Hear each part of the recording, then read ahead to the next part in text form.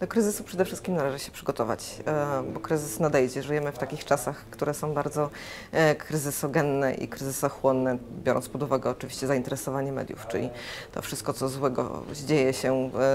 w otoczeniu, jest,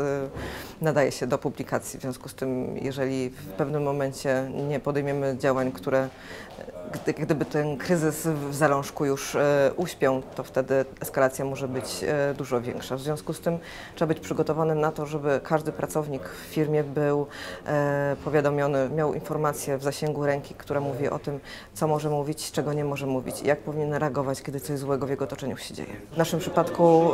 wszelkie instrukcje i, i zasady, które tworzymy, są adaptowane na innych rynkach, łącznie z tym, że pracownicy również poddawani są tym samym szkolenia,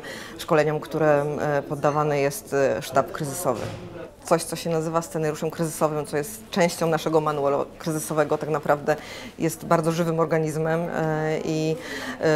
względem tego, co się przydarza nam, ale co się przydarza otoczeniu, e, musimy ten zasób wiedzy uaktualniać, jak gdyby. Natomiast, co jest ważne, cały czas funkcjonujemy w pewnych szablonach, czyli nawet jeżeli przy, przydarzy nam się kryzys, którego wcześniej nie mieliśmy, to wiadomo, że mamy dokładnie pokazane kroki, według których powinniśmy postępować, według których powinna postępować ja jako osoba odpowiedzialna za komunikację oraz za e, koordynowanie tego kryzysu, ale też ci, którzy powinni być uwrażliwioni podejmując jakąś, e, jakieś decyzje newralgiczne dla